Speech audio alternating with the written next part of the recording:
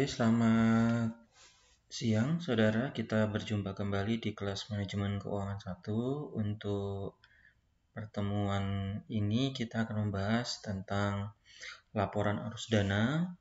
Eh, saudara jangan lupa saya eh, mengingatkan untuk mendengarkan atau melihat video ini tentu saja dengan eh, sambil melihat buku Eh, kita buku paket manajemen keuangan lalu sambil saudara siapkan catatan. Karena e, kalau saudara tidak sambil melihat buku atau sambil tidak sambil melihat materi dan tidak sambil mencatat e, saudara akan mengalami kesulitan.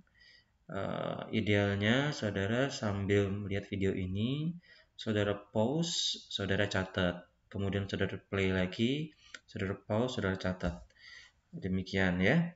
Uh, untuk materi kita pada sesi kali ini adalah laporan arus dana. Uh, laporan arus dana dan laporan arus kas itu ada di bab 6 buku kita dan akan kita bahas dengan dua kali pertemuan. Pertemuan ini kita akan membahas tentang laporan arus dana. Uh, kemungkinan tidak akan bisa selesai, selesai sekaligus. Kita coba lihat sampai mana kemungkinan kita sampai akan ke penyesuaian. Lalu pertemuan ke depan ya, kita akan membahas yang kedua yaitu e, menyelesaikan laporan arus dana dan membahas satu materi di terakhir di bab 6 laporan arus kas.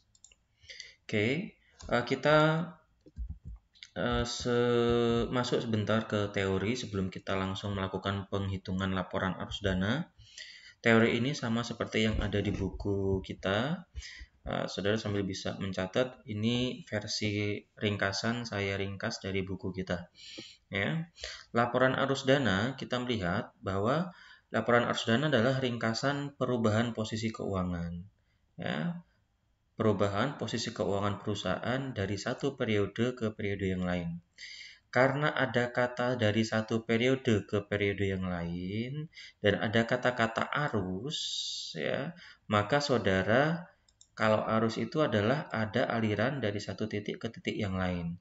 Jadi saudara memerlukan dua sumber atau memerlukan dua neraca. Karena sumber atau informasi dasar yang kita butuhkan untuk membuat laporan arus dana itu adalah neraca ya adalah neraca ini adalah info dasar yang dibutuhkan untuk membuat laporan arus dana. Nah, laporan arus dana uh, sering juga disebut dengan laporan sumber dan penggunaan dana. Jadi kalau saudara melihat ada di suatu buku laporan arus dana, di buku yang lain ada laporan sumber dan penggunaan dana, ini sama saja. Ya, oke kita lanjut.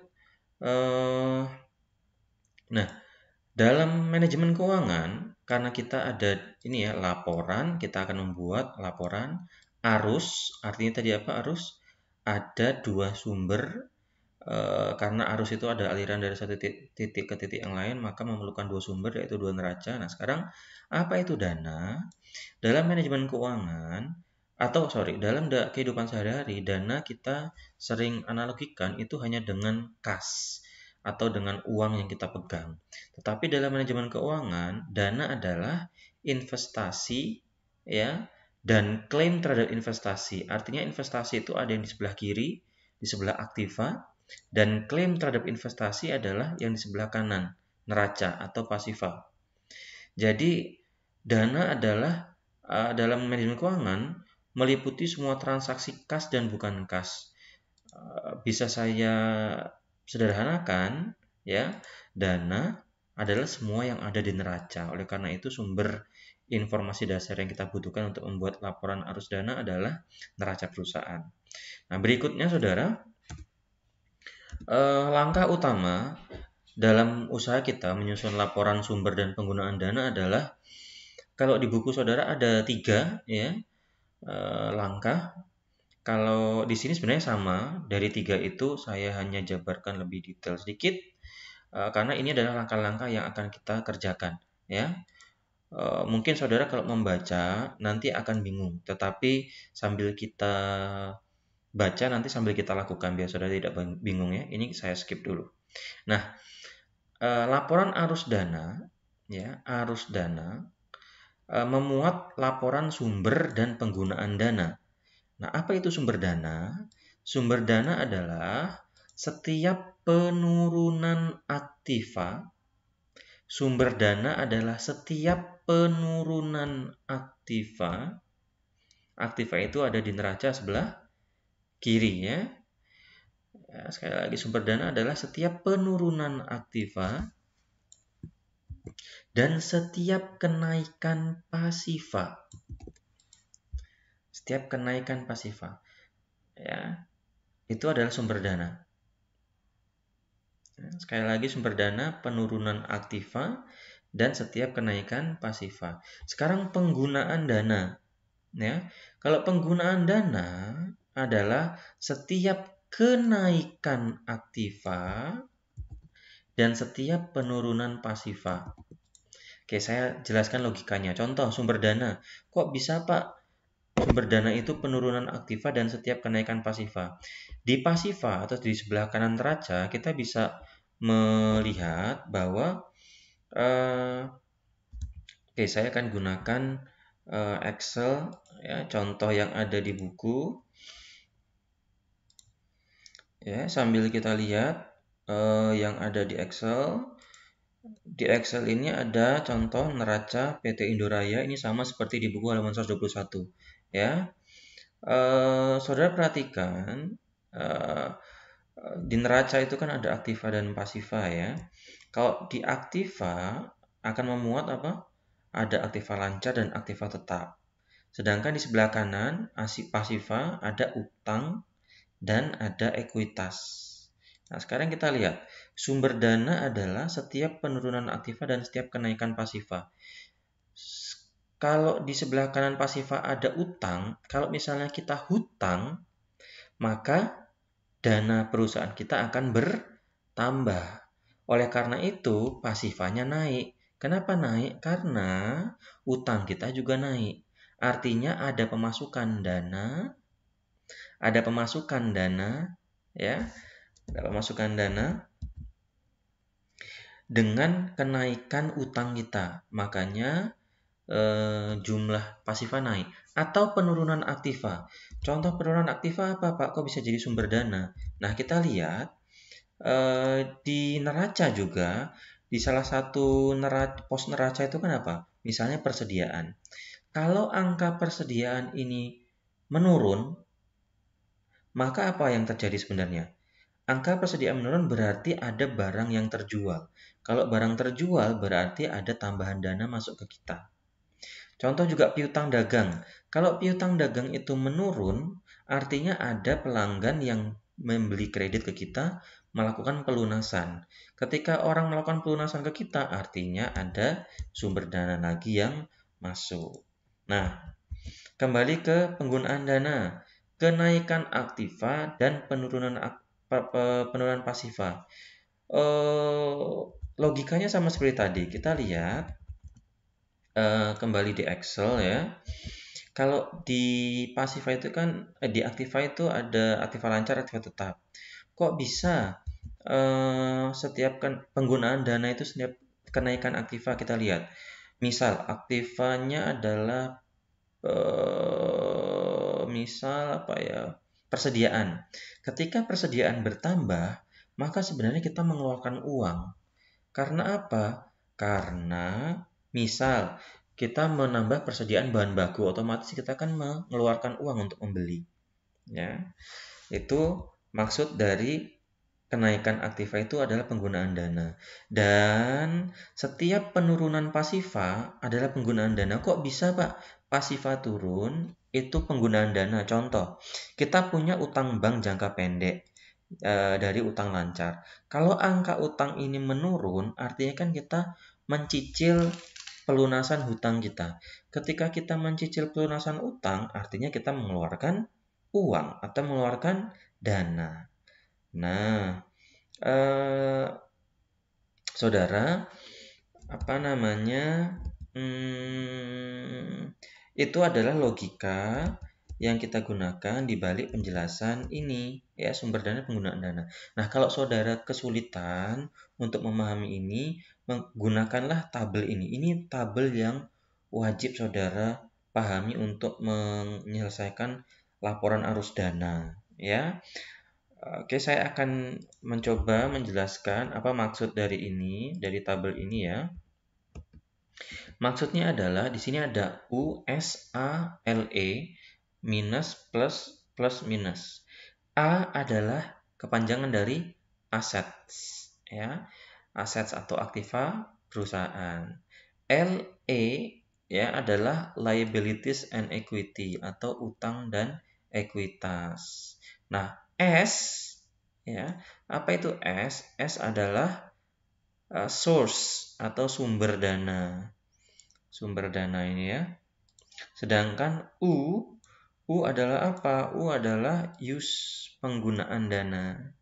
Nah, kalau saudara sulit untuk me, menghafalkan atau melogikakan sumber dana dan penggunaan dana, pakailah ini. Contoh, aktiva ya, aktiva aktiva turun apa artinya? Artifa turun adalah S source. Eh, sorry sorry ini kebalik ya uh, jadi cara membacanya kalau A bukan aktiva ya assets ya bisa juga aktiva. Kalau aktivanya turun berarti dia S source sumber penggunaan dana. Penurunan aktiva adalah sumber dana. Sedangkan kalau aktivanya bertambah maka dia masuk ke golongan use atau penggunaan dana. Sedangkan tabel atau kolom sebelahnya, kalau pasifanya atau utang dan ekuitasnya bertambah, maka dia adalah sumber dana. Kalau utang dan ekuitasnya berkurang, ya sekali lagi kalau utang dan ekuitasnya berkurang, maka dia masuk ke usage, ya, use penggunaan. Nah, untuk lebih jelasnya kita langsung akan melihat caranya di Excel. Ya, Excel ini saudara bisa dapatkan di web atau di grup WhatsApp yang sudah saya bagikan. Oke, eh, saudara kita lihat. Eh, nah, ini kita ke kita ke langkah-langkah ini ya. Langkah-langkah utama dalam menyusun laporan sumber dan penggunaan dana. Kita sudah masuk ke kita sudah masuk ke langkah-langkah menyusun laporan sumber dan penggunaan dana. Langkah pertama, menentukan arah perubahan, apakah dia positif atau negatif. Sekarang kita lihat di daftar Excel kita di neraca PT Indoraya itu ya. Saudara lihat, eh Arahnya saudara dapatkan dari neraca 2000X1 dan 2000X2. 217.000 ke 220.000 itu bertambah atau berkurang? Tentu saja dia bertambah. Karena bertambah berarti arahnya adalah positif. Berikutnya, piutang dagang ya 2000X1 adalah 917.600 sedangkan 2000X2 ini ya 2000X1 2000X2 sedangkan 2000X2 840.000 bertambah atau berkurang dia berkurang atau menurun maka arahnya adalah negatif Oke sekarang kita coba yang utang lancar ya yang utang lancar Uh, utang bank dan utang Wesel 2001 441.440 rupiah. Sedangkan tahun 2000X2 555.000. Berarti dia meningkat. Kalau meningkat arahnya berarti positif. Nah, saudara bisa cek satu persatu itu di buku. Itu adalah cara menentukan arah. Ya, ini saya coba. Saudara langsung cek masing-masing ya. Nah, apa maksudnya NA ini atau di buku saudara kan tidak ada ya. NA not available artinya apabila jumlah 2000X1 dan 2000X2 itu e, tidak mengalami perubahan. Contoh, di aktiva tetap lainnya di aktiva tetap lainnya ya 2000X1 jumlahnya 254.200 Sedangkan di X2, di 2000X2 jumlahnya sama. Makanya arahnya nggak ada. Ya, NA itu kepanjangan dari not available, tidak tersedia. Atau ini juga bisa saudara delete juga boleh. Sama seperti yang saham ekuitas saham biasa. Ekuitas saham biasa 2000X1 dan 2000X2 itu tidak menurun, eh tidak tidak apa tidak mengalami perubahan. Ya. Kalau tidak mengalami perubahan ini kan sama ya ini sama ini sama ini juga sama itu berarti NA NA itu maksudnya adalah not available. Ini bisa di delete juga boleh. Sorry. Nah sekarang saudara perhatikan khusus untuk yang ini ya yang tidak dicari arahnya. Jadi semua semua tidak di semua uh, tidak kemudian dicari arahnya ya. Yang tidak dicari arahnya apa? Satu, eh, yang merupakan akumulasi atau penjumlahan tidak kita cari arahnya. Contoh apa? Jumlah aktiva lancar nggak perlu kita cari arahnya ini. Ya, ini tidak perlu dicari arahnya. Ya. Lalu apalagi uh, akumulasi penyusutan uh, tidak perlu juga jumlah aktiva tidak perlu kita cari ya lalu jumlah utang lancar tidak perlu kita cari uh, jumlah ekuitas tidak perlu kita cari ya nah yang ini saudara aktiva tetap dan akumulasi penyusutan saudara tidak perlu cari sekarang karena dua hal ini akan kita cari ketika kita menyusun atau ketika dihitung ketika uh, kita menyusun laporan final. Ya, jadi dua ini tidak dicari. Ya, jadi catatan yang kedua aktiva tetap dan akumulasi penyusutan tidak di cari sekarang karena akan dihitung ya saat uh, saat menyusun laporan final karena ini masih basic ya. Nah, saudara sekarang setelah mengetahui arah ya, kita harus menentukan jumlah perubahannya seperti apa. Ini kan sudah kita lakukan ya. Ini sudah kita lakukan. Uh, sumbernya sudah kita sumbernya sudah kita tentukan ini. Kita sudah menentukan arah. Kita sudah menentukan arah positif atau negatif. Positif itu kalau dia bertambah, negatif itu kalau dia berkurang. Nah sekarang dia masuk ke mana dalam source and usage itu? Apakah dia masuk source atau dia masuk usage? Untuk contoh ya, yang ini, kas dan ekuivalen kas. Ya. Untuk 2017 eh untuk kas dan ekuivalen kas, dia kan ini arahnya positif, tapi dia masuk ke mana? Kita lihat. Aktiva ya, aktiva kalau dia positif berarti kita lihat aktiva kalau dia bertambah maka dia masuk ke use ya use biar saudara nggak bingung biar sama ya use berarti ini dimasukkan ke sini. Kenapa 3720? 3720 didapatkan dari 220 720 dikurang 217. Sekarang di bawahnya ya. Kalau ya di bawahnya ini kalau dia negatif aset ya, aktiva atau aset itu negatif, aset aktiva negatif berarti dia masuk ke sumber ya source. Berarti dia di sebelah sini. Berapa jumlahnya?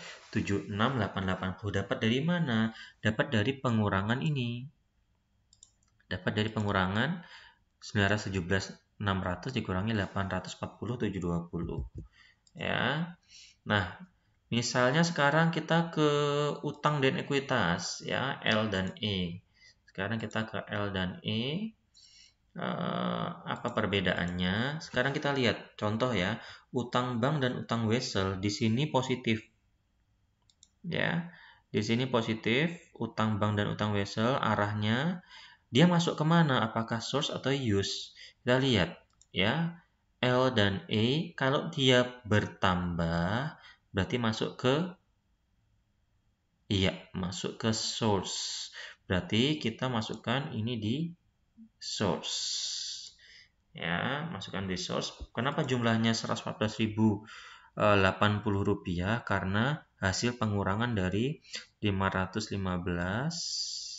ya 515 eh sorry 515 555520 dikurangi 441 440 nah saudara coba di di ini diteliti sendiri-sendiri akan saya uh, sudah saya kerjakan sebelumnya ya. Dan cara ngeceknya kalau mau benar ini benar atau tidak pasti ketika sudah jumlahkan source dan use itu hasilnya seimbang ya sama. Di sini di Pasify itu 326 120 ya. Di use juga 326 120 sama persis. Oke. okay. Nah, itulah yang dimaksud dengan langkah yang mana tadi? Langkah ini menentukan arah perubahan dan hitung besarnya perubahan. Kita sudah melakukan dua langkah ini, langkah satu dan langkah dua. Sekarang kita akan lihat langkah berikutnya. Ya, langkah berikutnya apa? Ya, kita sudah Berdasarkan bahkan tiga, deng ya, tiga. Kita sudah menentukan arah perubahan, kita sudah menghitung besarnya perubahan, lalu kita masukkan perubahan itu masuk sumber penggunaan, ya. Jadi kan seperti ini, kita eh, menentukan arah, menghitung jumlah dan memasukkan apakah dia masuk ke sumber atau penggunaan. Oke, berikutnya uh, menyusun laporan sumber dan penggunaan dana yang basic ya. Mengguna, menyusun laporan sumber dan penggunaan dana yang basic. Yang basic. Nah untuk 5 dan 6 kita akan lakukan ini minggu depan. Bagaimana yang basic? Nah, kita sekarang lihat uh, cara untuk menyusun yang basic. Lanjutan dari yang di sini. Lanjutan dari yang Excel ini ya. Nah Uh, sekaligus saya menjelaskan untuk tugas saudara, silahkan saudara kerjakan tugas yang saya berikan itu sampai penyusunan laporan yang basic dulu. Ya, penyusunan laporan yang basic. Oke, sekarang bagaimana kita menyusun laporan yang basic? Laporan basic itu ada seperti di buku halaman 121 yang di bawah, bagian kanan bawah. Nah, langkah awal ketika kita ingin menyusun laporan sumber dan penggunaan dana basic adalah kita harus mengelompokkan akun-akun ini. Saudara catat di bukunya masing-masing atau di buku catatannya masing-masing ada tiga pengelompokan yang kita buat. Saudara lihat ada kelompok satu ya ini catatan ya catatan penting. Langkah pertama ketika saudara ingin membuat eh, laporan sumber dan penggunaan dana basic eh, kita harus mengelompokkan akun-akun. Kelompoknya ada berapa? Kelompoknya seperti ini. Kelompok 1, kelompok 2, ya. Kelompok 1, kelompok 2, sebentar. Kelompok 1, kelompok 2, kelompok 3. Siapa kelompok 1? Kelompok 1 adalah ya. Saudara baik-baik perhatikan kelompok 1 adalah aktiva tetap bersih. Ya, kelompok 1 adalah aktiva tetap bersih. Berikutnya siapa lagi? Berikutnya adalah kelompok 1 adalah laba ditahan. Jadi ada dua anggota untuk kelompok 1. Nah, sekarang kelompok 3. Siapa itu kelompok 3 anggotanya? Kelompok 3 adalah anggotanya hanya satu. Kas dan ekuivalen kas. Ya, catatan pentingnya. Nah, sekarang siapa itu kelompok 2? Kelompok 2 adalah semua akun yang tidak termasuk kelompok 1 dan 3. Nah, makanya di sini saya lihat saya perlihatkan kelompok 3 ini adalah saya bersihkan dulu ya. Ini biar saudara jelas. Nah, kelompok 3 ya, kelompok 3 itu adalah kas dan ekuivalen kas. Hanya satu anggotanya. Kas dan ekuivalen kas. Kalau kelompok satu ada dua anggotanya. Siapa anggota e, kelompok satu? Kelompok satu adalah aktiva tetap bersih, ya, saya warnai berbeda, dan laba ditahan. Sekarang eh, sekarang kelompok dua artinya semua akun yang tidak masuk kelompok 1 dan 3 berarti piutang dagang masuk kelompok 2 ya. Persediaan masuk kelompok 2 lalu biaya-biaya dibayar muka masuk kelompok 2 pajak dibayar di muka masuk kelompok 2 apalagi e, aktiva tetap lainnya masuk kelompok 2 lalu eh, utang-utang lancar e, ekuitas biasa agi usaha masuk kelompok 2 gitu ya. Nah, langkah berikutnya apa? Langkah berikutnya adalah kita akan memindahkan ini ke, oke saya split screen saja biar gampang. Sebentar, view split. Ya.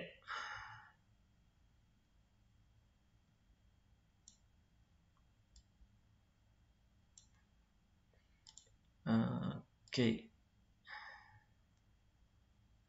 Nah, saudara fokusnya di sini, lihat uh, di laporan ini ya, di laporan uh, sumber dan penggunaan dana basic kita punya kolom seperti ini. Ini seperti yang ada di buku saudara.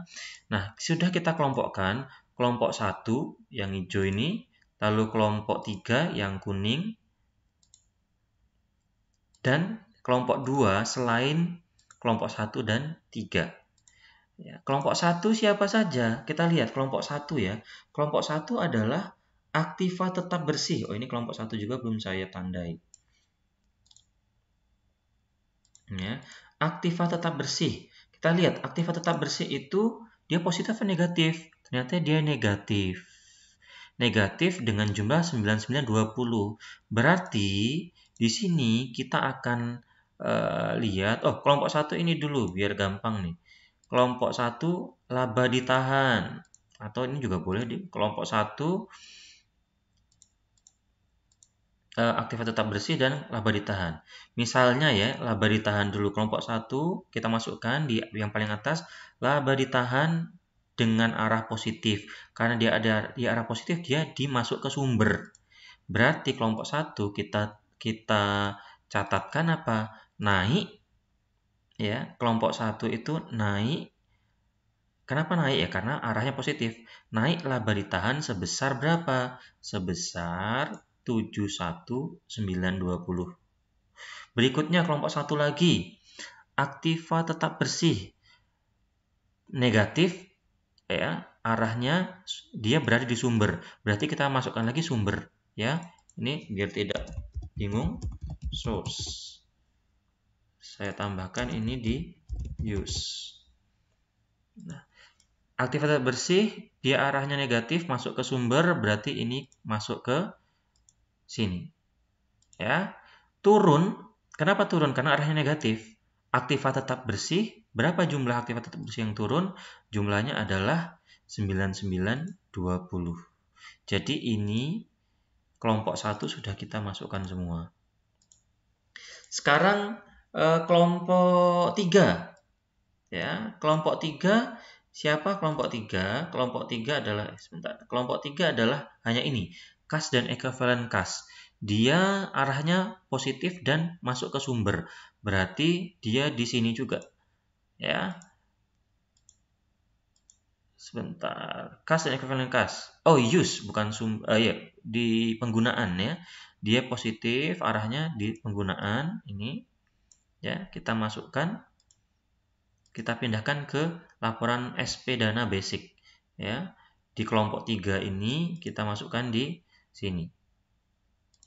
Naik kas dan equivalent kas naik karena arahnya positif, jumlahnya berapa? Jumlahnya adalah sebesar 3720. Berarti ini sudah kita masukkan juga ya. Oke, saya tandain yang sudah dimasukkan. Sekarang tinggal yang apa? Sekarang tinggal yang kelompok 2. Nah, kelompok 2 eh, saudara identifikasi sendiri. Saya ini kan ya, saya tunjukkan. Nah, contoh ini ya. Piutang dagang. Piutang dagang turun, dia masuk ke sumber. Berarti kita masukkan di sumber dana. Turun piutang dagang sebesar 76880 ya. Ini maksudnya. Ya. Ini maksudnya ya. Lalu berikutnya contoh lagi yang lain, misalnya eh, persediaan, persediaan naik di sumber. Jadi kalau di sumber berarti ke sini. Naik persediaan sebesar 116.560. Ya. Di sini lagi biaya-biaya dibayar di muka ya, naik di sumber eh di penggunaan, maaf, penggunaan naik biaya dibayar di muka di bagian penggunaan dana. Ya, seperti itu semua sampai nanti saudara memindahkan semua akun yang ada di neraca ini ya yang arah dan arah dan besar perubahannya kita sudah cari ke laporan sumber dan dana yang basic. Yang basic, yang basic ini ya. Nah, ketika saudara jumlahkan, kalau benar, pasti saudara mendapatkan angka yang sama seperti yang di sini. Ya, ini akan saudara dapatkan angka yang sama. Oke, saudara akan dapatkan angka yang sama. Oke. Uh, seperti itu uh, penjelasan untuk materi pada pertemuan kali ini. Terima kasih. Kalau ada pertanyaan, silahkan ditanyakan di Eh, media diskusi kita ya di WhatsApp. Terima kasih, selamat siang. Assalamualaikum warahmatullahi wabarakatuh.